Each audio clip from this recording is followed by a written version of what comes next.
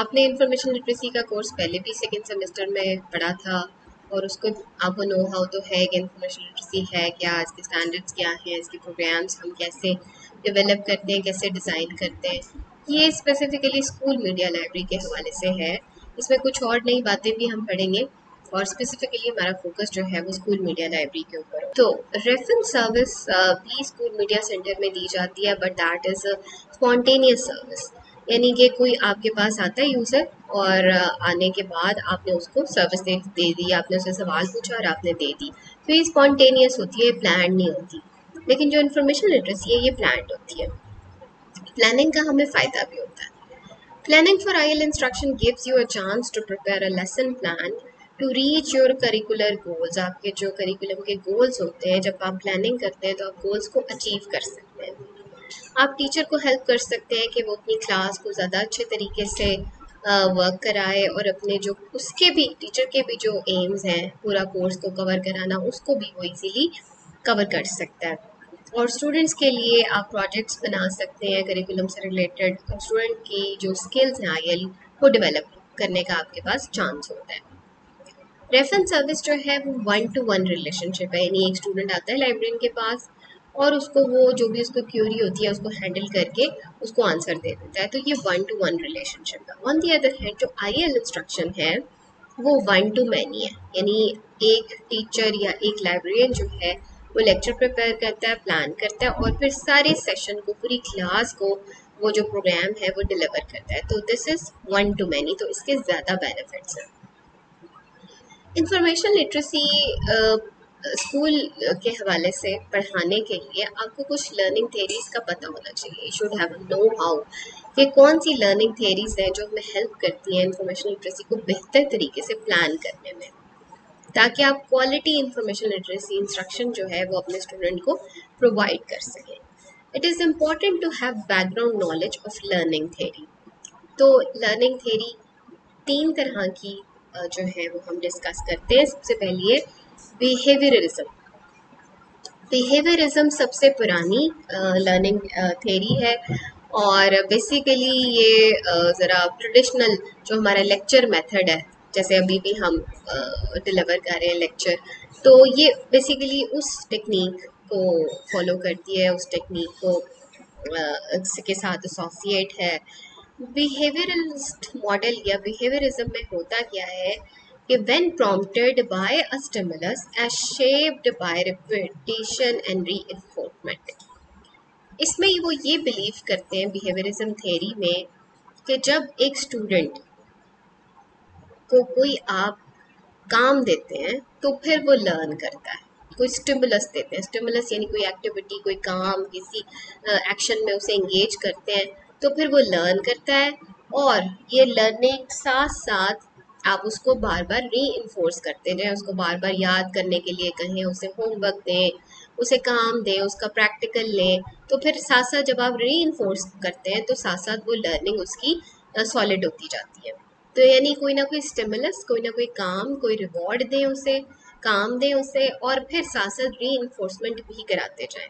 और रट्टा लगाना या री करना बार बार इसमें आप रिवॉर्ड्स भी दे सकते हैं, ताकि उनके बिहेवियर्स जो हैं, वो ऐसे ही हो जाएँ जैसे आपके डिज़ायरेबल बिहेवियर्स हैं। यानी फॉर एग्जांपल मैं चाहती हूँ कि आप मेरे सब्जेक्ट में बहुत अच्छे मार्क्स लें।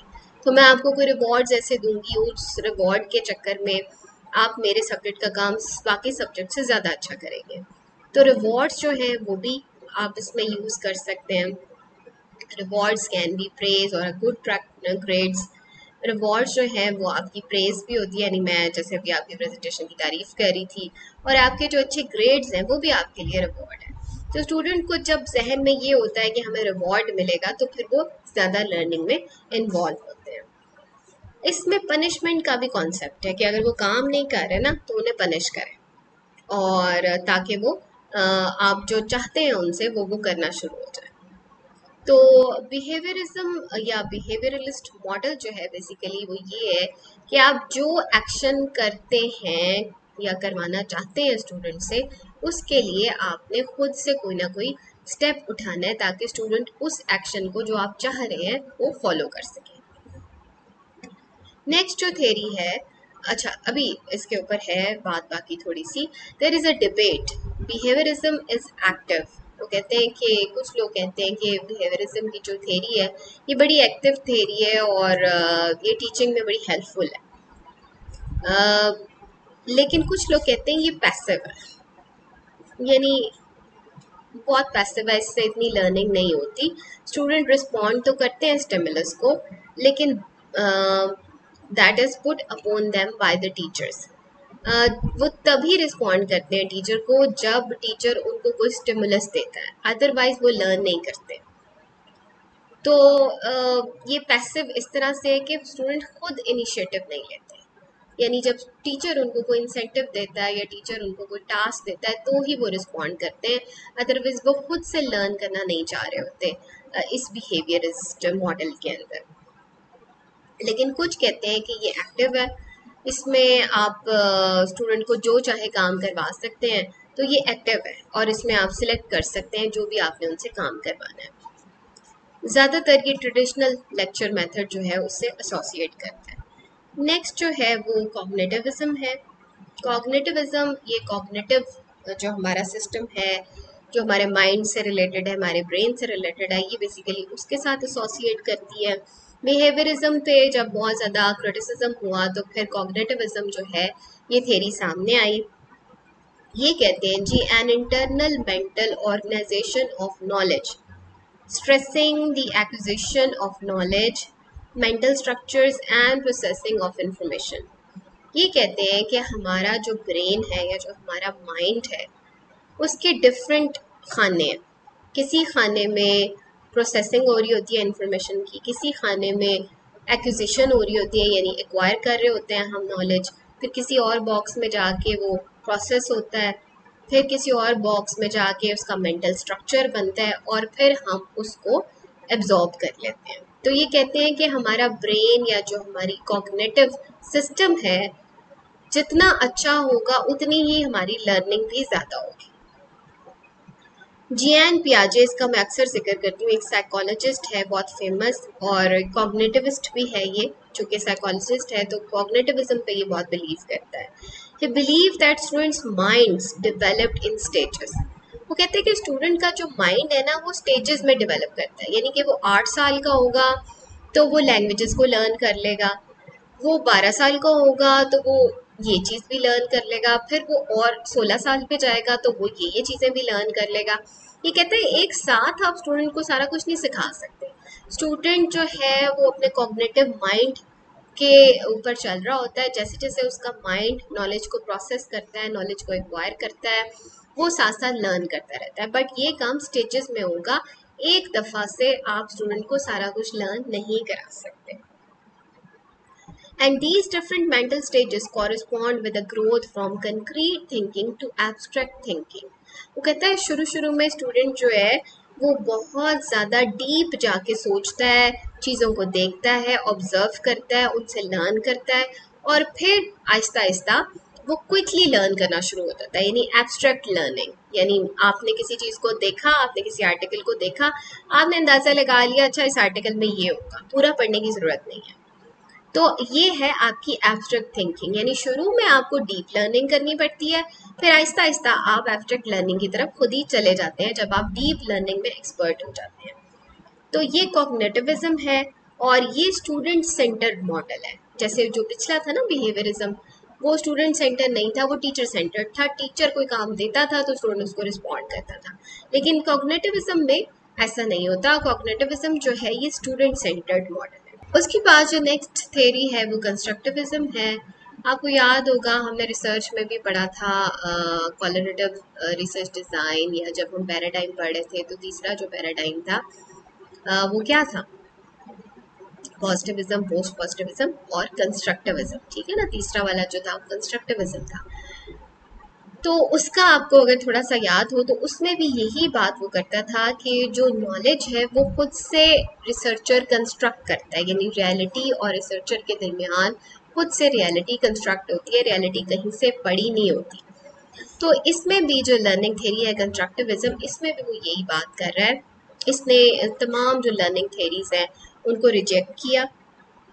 इसने कहा कि Constructivists believe that learners construct meaning and test their understanding in social situations. उसने कहा है कि स्टूडेंट्स या लर्नर खुद से लर्न करता है जब आप उसे उस सिचुएशन में डाल देते हैं यानी कि जैसे मैं अगर आपको स्कूल मीडिया लाइब्रेरी सेंटर पढ़ा रही हूँ तो मैं आपको actually school media library center में जाके कहूँगी, अब आप यहाँ पे काम करना शुरू कर दें तो आप ज़्यादा लर्न करेंगे यानी आपकी लर्निंग ही तब होगी जब आप एक्चुअल चीज़ों से इंट्रैक्ट करेंगे। Learners are active creators of their own knowledge learners खुद अपना नॉलेज क्रिएट करते हैं। जब आप उन्हें कोई रीडिंग मटेरियल देते हैं, जब आप उन्हें कोई प्रैक्टिकल वर्क देते हैं तो वो दोनों को मिला के अपना खुद से नॉलेज क्रिएट करते हैं। अब आपके जो नोट्स होते हैं, वो क्या हैं? वो आपका अपना नॉलेज है, जो आपने टीचर के लेक्चर सुनने के बाद या कोई और रीडिंग पढ़ने के बाद आपने खुद से क्रिएट किए इसके जो प्रोपोनेंट्स थे या इसके जो हामी थे लेव विकॉट्सकी एंड जॉन डेई ये दो फ़ेमस कंस्ट्रक्टिविस्ट थे। इन्होंने ये कहा था कि believe that teachers should help students think for themselves उन्होंने कहा कि स्टूडेंट टीचर जो है उसका काम ये होता है कि वो स्टूडेंट को थिंक करवाए सुचवाए। ठीक है जैसे मैडम कंवल कह, कहती होती थी थिंक सुचवाना। तो uh, उसका काम मटेरियल प्रोवाइड करना है, उसका काम गाइडलाइन प्रोवाइड करना है, उसका काम रटा लगवाना नहीं है। उसका काम ये है कि वो स्टूडेंट को इस बात पे मजबूर करे कि स्टूडेंट जो है वो उस चीज़ के बारे में, उस कॉन्सेप्ट के बारे में सोचना शुरू करते हैं जब वो सोचना शुरू करेंगे फ़िज़िकल इन्वायरमेंट से इंट्रैक्ट करेंगे तो खुद ब खुद उनकी लर्निंग होगी। ये एक्सपीरियंशियल लर्निंग के ऊपर बहुत बिलीव करता है। एक्सपीरियंशियल लर्निंग क्या होती है? जब आप कोई चीज़ हाथ से करते हैं एक्सपेरिमेंट करते हैं, जब आप किसी चीज़ का एक्सपेरिमेंट करते हैं तो आप लर्न करते हैं। और रिफ्लेक्शन रिफ्लेक्शन मतलब मैंने कुछ लर्न किया, आपने मुझसे पूछा अच्छा आपने क्या क्या लर्न किया? अब मैं आपको उसका रिफ्लेक्शन देती हूँ, आपको फीडबैक देती हूँ कि मैंने ये ये स्टेप लर्न कर लिया तो रिफ्लेक्शन और एक्सपीरियंस एक्सपीरियंशियल दोनों चीज़ों से आप लर्न करते हैं। कंस्ट्रक्टिविज्म ये कहती है और कंस्ट्रक्टिविज्म ये भी कहती है कि स्टूडेंट खुद से अपना नॉलेज क्रिएट करता है by interacting with the environment by interacting with the reading material और टीचर का काम है उसको थिंक करवाना, उसको मोटिवेट करना कि वो सोचे। नेक्स्ट जो है theory learning that is humanism ये सबसे ज़्यादा जो लेटेस्ट आजकल थेरीज आई हैं लर्निंग की, उसमें से एक थेरी है। ये ज़्यादातर रिलेट करती है स्टूडेंट की फीलिंग से इमोशन से। ये एक ओवरऑल अप्रोच है होलिस्टिक अप्रोच है। Holistic approach to student learning addressing the intellect emotion social life artistic and practical skills of the students to create learning and develop self esteem वो कहता है कि स्टूडेंट की जो इमोशंस हैं, उसकी जो सोशल लाइफ है, उसका जो इंटेलैक्ट है, वो तमाम आपने ट्रेन करना है, जब तक आप वो तमाम ट्रेन नहीं करेंगे, वो तमाम आप डेवलप नहीं करेंगे स्टूडेंट लर्न नहीं कर सकते। और वो क्रिएटिव भी नहीं हो सकते। तो इसके लिए ज़रूरी है कि हम ये तमाम एस्पेक्ट्स को देखें, इसको वो आगे भी डिस्कस करता है।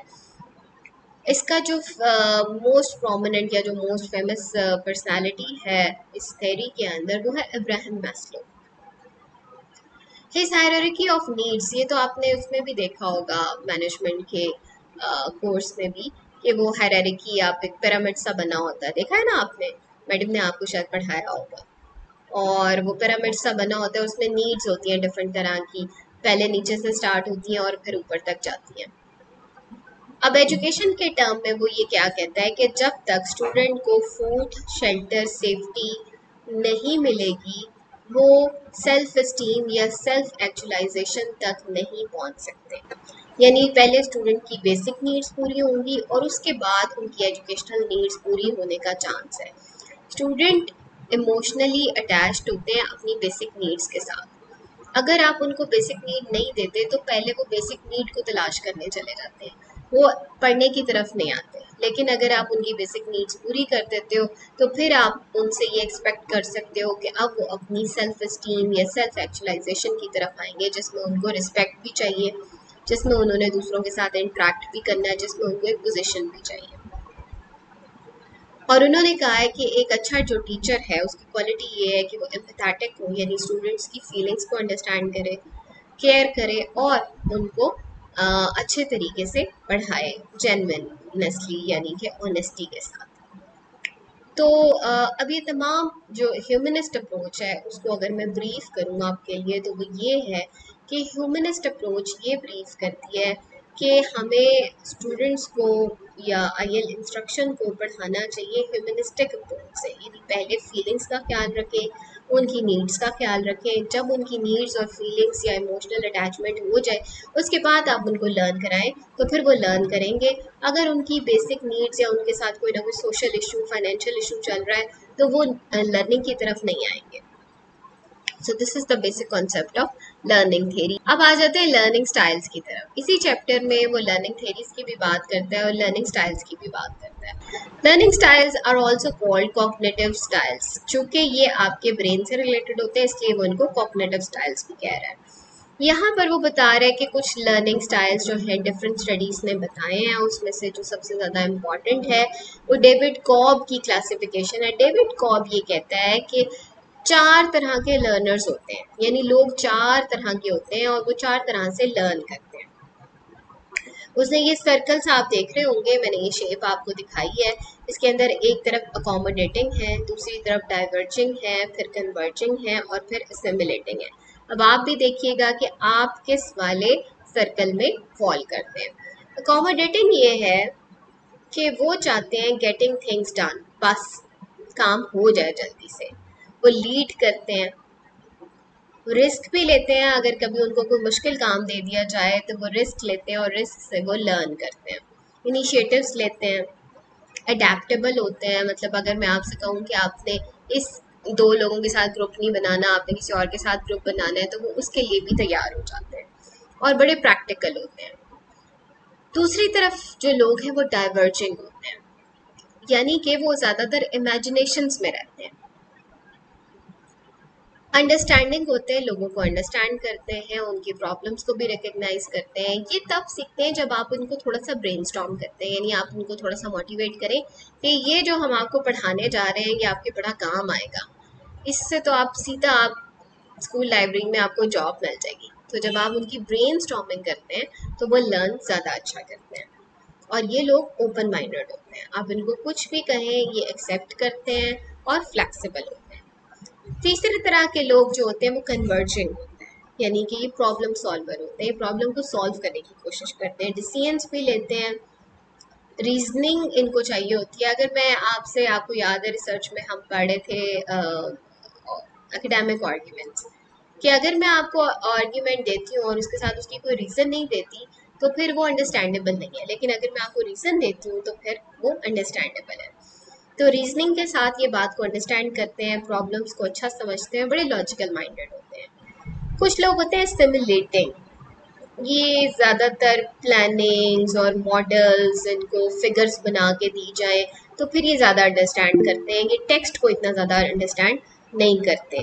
थेरीज को ज़्यादातर अंडरस्टैंड करते हैं, जो मॉडल की शक्ल में होती हैं और ज़्यादातर इनकी जो आदत है पेशेंट हैं यानी कूल एंड काम रहते हैं। लेकिन ज़्यादातर इलिस्ट्रेटिव मैटर को ये अंडरस्टैंड करते हैं। ये जो डेविड कॉप की थेरी थी, इसने कोई ज़्यादा अच्छा रिज़ल्ट प्रूव नहीं किए। जिन जिन इंस्टीट्यूट्स और जिन जिन स्कूल्स ने इसको अडॉप्ट किया, बहुत कोई सॉलिड रिजल्ट्स नहीं आए इस थेरी के बाद। फिर एक और जो थे एजुकेशनिस्ट या न्यूरो साइंटिस्ट उन्होंने इनिशिएटिव लिया और उन्होंने एक और जो था, वो थेरी को इन्वेंट किया। लेकिन उससे पहले सुजैन ग्रीनफील्ड जो थी, इन्होंने कहा कि जो लर्निंग स्टाइल्स है ना, ये बिल्कुल नॉनसेंस है। लर्निंग स्टाइल्स हर बंदा जो है, वो अपनी अपनी मर्ज़ी से सीखता है। लर्निंग स्टाइल्स तो होने ही नहीं चाहिए और इस तरह का कोई मॉडल कोई थेरी एग्जिस्ट नहीं करती। Humans have evolve to build a picture of the world through our own senses in unison unison होता है यूनाइटेड होना। Exploiting the immense interconnectivity that exist in the brain वो कहते हैं हर एक के अपना अपना ब्रेन है और उसकी अपनी अपना स्ट्रक्चर है और वो अपने तरीके से ही चीज़ों को अंडरस्टैंड करता है। आप ऐसे नहीं कर सकते कि एक स्टाइल ये है और वो बंदा उसी स्टाइल से सीखेगा और दूसरा स्टाइल से दूसरा बंदा सीखेगा। हो सकता है कि दो स्टाइल्स को मर्ज करने से एक बंदा ज़्यादा अच्छा सीख सके। तो वो कहता है कि ये लर्निंग स्टाइल की जो डिवीज़न है ये करना बिल्कुल गलत है। To keep students interested and engaged in the lesson, vary the teaching method हमें टीचिंग मेथड्स को वेरी करता रहना चाहिए यानी उसमें वैरायटी लेके आनी चाहिए। Since we learn through all of the senses चूँकि हम हर सेंस से लर्न करते हैं हम अपनी ऑब्जर्वेशन uh, से लर्न करते हैं हम अपने ऑडियो से लर्न करते हैं। हम अपनी तमाम जितनी भी हमारी सेंसेस अल्लाह ताला देती हैं, हम तमाम से लर्न करने की कोशिश करते हैं। नेक्स्ट है जी learning environment information literacy instruction के लिए वो कहता है लर्निंग एनवायरनमेंट भी बड़े ज़रूरी है और ज़्यादातर लर्निंग एनवायरनमेंट हमने पिछले चैप्टर में पढ़ा है कि ज़्यादातर टेक्नोलॉजिकल होने चाहिए स्कूल मीडिया लाइब्रेरी के अंदर। टेक्नोलॉजी का जो है वो मेन पोर्शन होना चाहिए किसी भी चीज़ को लर्न कराने के लिए। अच्छा जी लर्निंग स्टाइल में फेस टू फेस जो लर्निंग इन्वायरमेंट है वो ही ऑब्वियसली मेन फोकस है। Uh, जब तक हम फेस टू फेस नहीं होते इवन ऑनलाइन भी हमें फेस टू फेस होने ही की ज़रूरत होती है तभी जाके वन टू वन जो है कम्युनिकेशन पॉसिबल होती है। और वन टू वन जो लर्निंग uh, इन्वायरमेंट है ये स्टिल फ़ेमस है और uh, इसके ऊपर कितने ही लोगों ने कहा है कि जी ऑनलाइन चले जाएँ और फेस टू फेस ना हो, लेकिन वो इतना इफ़ेक्टिव नहीं रहा। हमेशा जो फेस टू फेस इंट्रैक्शन है लर्निंग में वही ज़्यादा इफ़ेक्टिव होती है। Online learning has developed rapidly in the past few years L M S अभी मैंने आपको उसके ऊपर आपका क्विज प्लान करना है। आपको भी थोड़ी देर में बताती हूँ कि एल एम एस है क्या। ये एक पूरा सिस्टम है जो कि स्टूडेंट टीचर लर्निंग के लिए उन्होंने बनाया हुआ है। उसके ऊपर आप स्टूडेंट के साथ इंटरेक्ट कर सकते हैं। जैसे आप गूगल डॉक गूगल मीट के ऊपर हमें असाइनमेंट सबमिट करते हैं क्विज़ हम आपका ले सकते हैं। इसी तरह इन्होंने एक सिस्टम बनाया है एल और उसके ज़रिए बहुत सारी यूनिवर्सिटीज़ कॉलेजेस और स्कूल्स ने उसको फॉलो किया। उसके ज़रिए आप जो है स्टूडेंट के साथ इंटरेक्ट कर सकते हैं। उनको क्विजेस दे सकते हैं, उनको प्रेजेंटेशन दे सकते हैं, उनकी मार्किंग वहाँ पे हो जाती है। तो वो भी तरीका होता है एक लर्निंग इन्वायरमेंट का। तो फेस टू फेस और एलएमएस दोनों जो हैं, आप मेथड्स अडॉप्ट कर सकते हैं। ज़्यादातर वो कहते हैं ब्लेंडेड अप्रोच अच्छी होती है। बिल्कुल ही आप एलएमएस पे चले जाएँ या बिल्कुल ही आप फेस टू फेस रहें, ये दोनों अप्रोचेस गलत हैं। आपको एक ब्लेंड करना चाहिए, एक हाइब्रिड मिक्स करना चाहिए दोनों मेथड्स का, तब स्टूडेंट्स ज़्यादा लर्न करते हैं। इसमें इन्होंने फ्लिप्ड क्लासरूम का भी ज़िक्र किया है कि फ्लिप्ड क्लासरूम इंस्ट्रक्शन के लिए बहुत बेटर लर्निंग इन्वायरमेंट है। इसमें क्या होता है कि स्टूडेंट पहले एक वीडियो देख कर आते हैं। जैसे अक्सर आपने देखा मैं भी अब वीडियोस का काम कर रही हूँ अपने यूट्यूब चैनल के ज़रिए। तो उसमें क्या होता है कि स्टूडेंट को आप कह देते हैं कि आपने एक वीडियो देख कर आनी है अपने फारग टाइम में जब भी आप फ्री हो। जब वो वापस आते हैं क्लास के अंदर तो लेक्चर के दौरान आप उनको लेक्चर नहीं देते, आप उनको काम देते हैं। प्रैक्टिकल वर्क देते हैं क्विजेस देते हैं प्रॉब्लम्स देते हैं और फिर जो उन्होंने वो वीडियो देखी होती है, उसकी बेसिस के ऊपर वो उस प्रैक्टिकल वर्क करते हैं। तो कहा यह जाता है कि जो फ्लिप क्लासरूम है, इसमें स्टूडेंट ज़्यादा लर्न करते हैं, क्योंकि वो साथ साथ देखकर भी आते हैं, सुनकर भी आते हैं और फिर आके प्रैक्टिकल भी करते हैं। तो ये ब्लेंड ऑफ़ डिफरेंट सेंसेस है तो इससे स्टूडेंट्स ज़्यादा लर्न करते हैं। इंफॉर्मेशन लिटरेसी की इंस्ट्रक्शन की चूँकि हम बात कर रहे हैं तो इसलिए ये ज़्यादा इंपॉर्टेंट है कि हम एक ब्लेंडेड अप्रोच अडॉप्ट करें instead of a single approach instructional methods next जो चैप्टर में वो बात करता है, वो इंस्ट्रक्शनल मेथड्स की करता है। स्मॉल एट ऑल 2012 ने सेवन इंस्ट्रक्शनल मेथड्स जो हैं, वो डिवाइस किए हैं कि किसी भी लर्निंग के लिए आपको सात तरह के जो इंस्ट्रक्शन मेथड्स हैं, वो अडॉप्ट करने चाहिए। उसमें है questioning practice discussion brain role playing gaming and lecture वो कहता है, सात तरह के डिफरेंट इंस्ट्रक्शन स्टाइल है, सातों को आपने अपनी टीचिंग में इन्वॉल्व करना है। तो फिर आप एक अच्छी टीचिंग और लर्निंग एनवायरनमेंट क्रिएट कर सकते हैं। चूँकि वो इन्फॉर्मेशन लिटरेसी के हवाले से बात कर रहे हैं तो इसीलिए आप उसको माइंड में रखें कि हमने जब स्कूल मीडिया लाइब्रेरी सेंटर में इन्फॉर्मेशन लिटरेसी पढ़ानी है तो इन तमाम इंस्ट्रक्शन मेथड्स का हमने यूज़ करना है। क्वेश्चंस वो कहता है क्लास को इंगेज करने के लिए बड़े इंपॉर्टेंट होते हैं। जब आप क्वेश्चन करते हैं तो पता चलता है कि क्लास आपकी कितना लर्न करी है और कितना इंगेज हुई है। ठीक है? अब मैं जो ऑनलाइन इन्वायरमेंट है, उसमें सबसे ज़्यादा यही चीज़ मिस कर रही हूँ कि हम क्वेश्चनिंग नहीं कर सकते। हम पता नहीं चलता स्टूडेंट के फेशियल एक्सप्रेशन से कि वो लर्न कर रहा है या नहीं कर रहा। So it is a very effective way to engage the class in deeper learning give students a chance to reflect ये क्वेश्चन जो होते हैं, इसके ज़रिए स्टूडेंट अपने आप को रिफ्लेक्ट कर सकते हैं, अपना फीडबैक देख सकते हैं कि आया उन्हें समझ आ रहा है या उन्हें समझ नहीं आ रहा। When responding to the question, provide meaningful feedback. वो कहता है कि जब कोई क्वेश्चन स्टूडेंट आपसे करता है तो आप उसको एक मीनिंगफुल फीडबैक दें। उससे क्या होगा कि स्टूडेंट इनक्रेज होगा नेक्स्ट टाइम क्वेश्चन करने के लिए भी और जब वो क्वेश्चन एक बंदा कर रहा है, लेकिन उससे बहुत सारे बच्चे जो क्वेश्चन नहीं कर रहे, हो सकता है उनको भी वो आंसर्स मिल जाए। तो और सिर्फ़ उसको करेक्ट और इनकरेक्ट का जवाब ना दें, उसको फुली एक्सप्लेन करें। उस एस्पेक्ट को, उस चीज़ को जो उसने आपसे पूछी है, ताकि बाकी लोग जो है, उसके उस क्वेश्चन से फ़ायदा उठा सकें। Holding a classroom discussion is also one of the very good method of uh, creating a good learning environment as well as brainstorming session. Brainstorming यानी अभी अब मैं क्लास में आई हूँ और मैं आते साथ ही लेक्चर ना शुरू करूँ पहले मैं आपकी brainstorming करूँ। I motivate you to come to this chapter और फिर उसके बाद मैं अपना लेक्चर स्टार्ट करूँ। तो और डिस्कशन आपको मैं कोई टॉपिक दे दूँ ड्यूरिंग द क्लास कि आप इसमें डिस्कस करो and I come after the five minutes and we will have a discussion on it तो डिस्कशन क्वेश्चनिंग ब्रेन फिर वो कह रहे हैं प्रैक्टिस प्रैक्टिकल वर्क के ऊपर प्रैक्टिस और डेमोन्स्ट्रेशन यानी मैं आपको कुछ डेमोन्स्ट्रेट uh, करके दिखाऊँ अगर कोई सॉफ्टवेयर है तो उसकी डेमोन्स्ट्रेशन दूँ और आपको कोई प्रैक्टिकल वर्क दूँ इससे भी आप बहुत ज़्यादा लर्न करते हैं। Demonstration show students how a resource works It models good effective behavior and proper use of resources, which includes the features you think will be of the most value to your students. Practical work से आपके students ज़्यादा से ज़्यादा learn करते हैं और जितने ज़्यादा आप उनको रेफरेंस सोर्सेज रेफ़र करते हैं कि वो जाके क्लास से रिलेटेड उनको कंसल्ट करें आई एल इंस्ट्रक्शंस कितनी तरह की होती हैं school media library section center के अंदर? मेनली दो तरह की होती हैं। एक होती है single instruction session single instruction usually जब हम लाइब्रेरी ओरिएंटेशन करते हैं, जैसे आप भी आए थे तो आपकी भी लाइब्रेरी ओरिएंटेशन की थी मेन लाइब्रेरी ने। सो वो एक ही दफ़ा का सेशन था ना? तो वो एक दफ़ा का जो सेशन है, उसको हम कहते हैं सिंगल इंस्ट्रक्शन सेशन दूसरा होता है कोर्स ऑफ़ इंस्ट्रक्शन ठीक है? कोर्स ऑफ़ इंस्ट्रक्शन के ऊपर अभी बाद में बात करते हैं। सिंगल इंस्ट्रक्शन सेशन जो है, इसको वन शूट इंस्ट्रक्शन सेशन भी कहते हैं। वन शूट इन एक सेकेंड अच्छा तो सिंगल इंस्ट्रक्शन सेशन को वन शूट इंस्ट्रक्शन सेशन भी कहते हैं। बिकॉज़ uh, आपके पास स्टूडेंट्स होते हैं और आपके पास एक दफ़ा ही चांस होता है उनको डेमोन्स्ट्रेट करने का तो आप उनको तमाम इंस्ट्रक्शंस के ऊपर लेक्चर देने के लिए रेडी हो जाते हैं। लेकिन वो ये कहता है कि ऑल दो आपके पास एक ही चांस है वन शूट आपको टाइम uh, मिला है तो ज़रूरी नहीं है कि आप सारा कुछ उनको अभी ही इंस्ट्रक्ट कर दो सारा कुछ उनको अभी ही डेमोन्स्ट्रेट कर दो।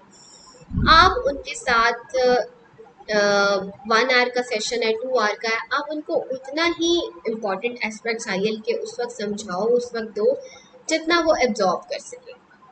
फिर उसके बाद अगर उनको ज़रूरत पड़े तो आप उनको एक और सेशन भी अरेंज करके दे सकते हो। लेकिन बहुत ज़्यादा वो कहता है जनरल रूल ऑफ़ थम ये है कि उनको सिर्फ़ दो कॉन्सेप्ट पढ़ाओ आई के उससे ज़्यादा ना पढ़ाओ। क्योंकि स्टूडेंट एक तो नए नए आए होते हैं उनको भी पता भी नहीं होता कि उनकी असाइनमेंट्स कौन सी हैं और उनकी नीड क्या है और उनको किस तरह की आई इंस्ट्रक्शन की ज़रूरत पड़ेगी। तो आप उन्हें सब कुछ दे देते हो और वो उसमें उस वक्त इतना इंटरेस्टेड भी नहीं होते। तो ज़रूरी ये है कि आप उनको आ, वो सेशन जो है बाद में दे दो जिसकी उनको ज़रूरत बाद में हो। और अभी आप उनके साथ एक इनिशियल बेसिक लेवल का आई एल इंस्ट्रक्शन सेशन उनको दे दो जिसमें आप कम से कम दो कॉन्सेप्ट उनको जो मेन है वो समझा दो। It is important that the IL instruction take place when the students have a project or an assignment to complete. कहते हैं उस वक्त आप प्लान करो अपना दूसरा सेशन जब आप स्टूडेंट को असाइनमेंट्स मिलना शुरू हो जाए उनकी डेडलाइंस आ जाए और उनको कंप्लीट करनी हो अपनी assignments IL instruction needs to create a teachable moment and take advantage of it. कहता है IL instruction को सिर्फ़ आप ये ना समझें कि बस जो जो हमारे पास कंटेंट्स हैं हमने सारा कुछ डिलीवर करना है आप उसको एक मोमेंट समझें कि हमारे पास एक मोमेंट आया है एक एडवांटेज आया है अब हमें इसको यूज़ कैसे करना है effectively number of college offer credit bearing courses बहुत सारे कॉलेज स्कूल यूनिवर्सिटीज़ जो हैं, ये कोर्स ऑफ़र करती हैं और वो कोर्स आइडियल होता है। आप भी अगर अपने स्कूल मीडिया लाइब्रेरी सेंटर में आप जाते हैं तो कोशिश ये करें कि बजाय इसके कि आपको वन टाइम सेशन के अलाउ करें, वो आपको एक पूरा क्रेडिट बेयरिंग कोर्स दें। उस कोर्स में कुछ सेशन टीचर प्ले कर ले, उनका जो रेलेवेंट टीचर है और कुछ जो है लाइब्रेरियन अपनी क्लासेस ले ले और आईएल इंस्ट्रक्शन उनके लिए प्लान करें।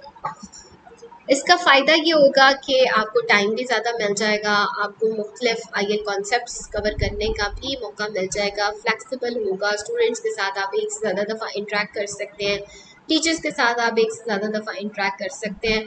और जितनी भी हेल्प आपको टीचर से चाहिए, वो आप ले भी सकते हैं। बेनिफिट्स क्या हैं जी? आई एल इंस्ट्रक्शन के स्कूल मीडिया सेंटर में क्या बेनिफिट्स हैं? मुख्तलिफ़ स्टडीज़ हो चुकी हैं आई एल इंस्ट्रक्शन की वैल्यूएशन के ऊपर और मुख्तलिफ़ स्टडीज़ में कहा है कि आई एल इंस्ट्रक्शन बहुत ही बेनिफिशियल है। किसी भी फॉर्म में आप देते हैं वन टाइम देते हैं या एक कोर्स आप ले लेते हैं, दोनों में बहुत इसके फ़ायदे हैं। एक पहली स्टडी ने फाइंड आउट ये किया है कि जब आपने स्टूडेंट को आई इंस्ट्रक्शंस दी, एक ग्रुप को आपने दे दी और एक ग्रुप को आपने नहीं दी तो जिस ग्रुप को आपने दी, उन्होंने ज़्यादा साइटेशंस की, उन्होंने ज़्यादा रेफरेंसेस लिखे, उनको पता था कि अपने असाइनमेंट में रेफरेंसेस देने कैसे हैं अथेंटिक सोर्सेज यूज़ कैसे करने हैं तो उनकी असाइनमेंट्स बेटर थी उनसे जिनको आई इंस्ट्रक्शन नहीं दी गई। एक और स्टडी ने ये प्रूव किया कि students receive at least three or four live instruction section there is a strong possibility that they will be improvement in their grade point जिन लोगों ने तीन या चार आई एल सेशन अटेंड किए हुए थे, उनके ग्रेड्स बेहतर थे, उनसे जिन्होंने कम या बिल्कुल ही कोई आई एल सेशन अटेंड नहीं किया था तो ये आपके ग्रेड्स को भी इम्प्रूव करती है। फिर एक स्टडी हुई ट्वेल्थ ग्रेडर्स की। और उनको एक प्रोजेक्ट दिया गया आई एल इंस्ट्रक्शन के थ्रू और न्यू जर्सी में, और उन्होंने देखा had learn from the unit and importantly knew that they had learn यानी स्टूडेंट ने बहुत ज़्यादा उस प्रोजेक्ट से लर्न किया और उनने खुद अपना फीडबैक भी दिया रिफ्लेक्ट भी किया कि हमने वाकई ही आई एल के इंक्वायरी बेस्ड प्रोजेक्ट से लर्न किया है। So what many of the students learned was an accumulation of facts. Some students did show a of the facts. Students ने बताया कि हमने ज़्यादातर फैक्ट्स को लर्न किया फिर उन्होंने फैक्ट्स को इकट्ठा करके सिंथेसाइज करके भी बताया कि हमने ये ये फैक्ट्स जो हैं, इनको हमने लर्न किया तो आई एल इंस्ट्रक्शन जो है प्रोग्राम ये इसके बारे में अब वो ब्रीफ कर रहा है the difference between I L instruction and I L instruction program is scope कहते हैं आई इंस्ट्रक्शन एक अलग चीज़ है और आईएल इंस्ट्रक्शन प्रोग्राम पूरा बनाना एक अलग चीज़ है। I L instruction program should ensure that all of your students receive the necessary and important instruction they need and enable you to meet your curricular goals I L instruction program जो है उसका scope बड़ा होता है। वो तमाम students की needs को कवर करता है तमाम करिकुलम की नीड को कवर करता है और जितने भी करिकुलर के गोल्स हैं स्कूल के गोल्स हैं उनको अचीव करने की कोशिश करता है। If there is no I L instruction program at your school start slowly वो कहते हैं कि अगर आपका कोई आई एल इंस्ट्रक्शन प्रोग्राम नहीं है तो फिर आपको वो स्टार्ट कर देना चाहिए Uh, लेकिन विद अ स्लो पेस और आपके साथ अगर कोई दो टीचर्स भी इन्वॉल्व है और वो विलिंग है और आपके साथ उनकी रेपुटेशन अच्छी है रिलेशनशिप अच्छे हैं तो इट्स गुड कि आप उनके साथ अपना रिलेशनशिप बना के आई प्रोग्राम को आहिस्ता आहिस्ता शुरू कर दो। Implementing an I program takes a lot of preparatory work बहुत सारा आपको काम करना पड़ता है आईएल प्रोग्राम को इम्प्लीमेंट करने के लिए। If you have colleagues at other uh, schools who have already created a program or work with in a program get help from them कोई ऐसे लाइब्रेरियंस जो ऑलरेडी आई प्रोग्राम कर रहे हो किसी डिफरेंट स्कूल में, उनसे हेल्प ले लें। उनके पास बने बनाए डॉक्यूमेंट्स होंगे, आप उन डॉक्यूमेंट्स को ले सकते हैं, उनसे हेल्प ले सकते हैं, उनकी परमिशन से, और वो आपको हेल्प भी कर सकते हैं। सबसे इंपॉर्टेंट चीज़ जो है आई प्रोग्राम की, वो है उसकी मार्केटिंग अगर आपने सारा कुछ कर लिया मार्केटिंग नहीं की तो फिर आपने कुछ भी नहीं किया। तो कहता है कि first half of the work आपकी मार्केटिंग है।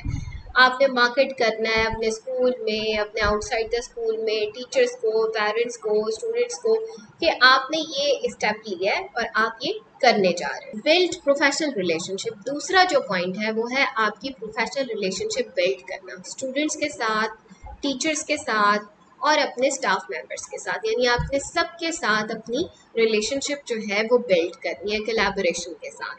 देखिए कोई भी जब आप प्रोग्राम स्टार्ट करते हैं ना तो जब तक आप अपने स्कूल में अपनी प्रोफेशनल रिलेशनशिप बिल्ड नहीं करते तो आप कभी भी वो प्रोग्राम वो इनिशिएटिव नहीं ले सकते। Professional relationship is very very important in all aspect किसी भी एस्पेक्ट में, किसी भी स्कूल में यूनिवर्सिटी में आप कोई भी प्रोग्राम स्टार्ट करें प्रोफेशनल जो रिलेशनशिप है वो बिल्ड करनी बहुत ज़रूरी है। थर्ड स्टेप आपने स्कूल के करिकुलम को बहुत अच्छे से रियलाइज़ करता है कि स्कूल का करिकुलम क्या है, उसके गोल्स क्या है, उसकी एक्टिविटीज़ क्या है, ताकि आप जो अपनी प्लानिंग करें, वो करिकुलम के अकॉर्डिंग करें। टीचर्स और स्टाफ आपके ऊपर ये एतराज़ ना करें कि अब जो आपने प्लान किया है, वो तो हमारे करिकुलम के से रिलेटेड ही नहीं है तो हमें इस आई प्रोग्राम का क्या फ़ायदा? कौन से आपने वीकली सेशंस लेने हैं, कौन से आपने मंथली लेसन्स लेने हैं, किस टीचर के साथ आपने इंटरेक्ट करना है कौन से गोल्स एंड सर्विस कौन सी रिसोर्सेज और सर्विसेज़ आपको चाहिए, ये तमाम चीज़ें बड़ी इंपॉर्टेंट है आई प्रोग्राम को स्टार्ट करने के लिए। और अगर आपने स्टार्ट कर लिया है तो कौन कौन सी प्रिपरेटरी वर्क आपने करना है। ना सिर्फ़ आपको अच्छा करिकुलम के साथ अटैच होना ज़रूरी है, आपको अच्छे रिसोर्सेज और सर्विसेज़ भी चाहिए। The fourth and the final piece of foundation is gathering resources. Online resources physical resources physical collection आपकी बड़ी अच्छी होनी चाहिए अपडेटेड होनी चाहिए, हर सब्जेक्ट के ऊपर होनी चाहिए। जो आपने एक्टिविटी देनी है या आईएल प्रोग्राम का कोई प्रोजेक्ट देना है और आपके पास रिसोर्सेज नहीं है तो आप वो प्रोजेक्ट कैसे रन करेंगे? तो आपने लाइब्रेरियन को रिसोर्सफुल होना चाहिए और लाइब्रेरी को भी रिसोर्सफुल होना चाहिए। Now take a final look at the four foundational pieces of collaboration कहते हैं ये चारों पीसेस जब आपके पास आ जाएँगे तो इनको आपने गौर से देखना है कि अब क्या ये इनफ है मेरे आई प्रोग्राम को स्टार्ट करने के लिए। फिर आपने लाइब्रेरियन और आपके स्टाफ की स्किल्स भी देखनी है, उनका नॉलेज भी देखना है, उनकी टीचिंग एक्टिविटीज़ भी देखनी है क्लासरूम गोल्स क्या हैं, उनको भी आपने सेट आउट करना है। और किन एरियाज़ में कौन सा आपका स्टाफ मेंबर ज़्यादा एक्टिव फॉर एग्जांपल आपका जो स्टाफ मेंबर है, वो एक रेफरेंस सर्विसेज़ में बहुत अच्छा है। तो आप उसको रेफरेंस सर्विसेज़ के एरिया पे ले जाएँ। कोई और आपका जो स्टाफ मेंबर है, वो ज़्यादा अच्छा है क्वेश्चनिंग आंसरिंग में तो आप उसको क्वेश्चनिंग आंसरिंग का सेशन दे दें। तो इस तरह अपने स्टाफ और अपनी स्किल्स को भी एनालाइज करें कि कौन सा जो स्टाफ और स्टाफ का मेंबर है, वो किस एस्पेक्ट को ज़्यादा बेहतर तरीके से कर सकता है आई एल इंस्ट्रक्शन के ज़ुमरे में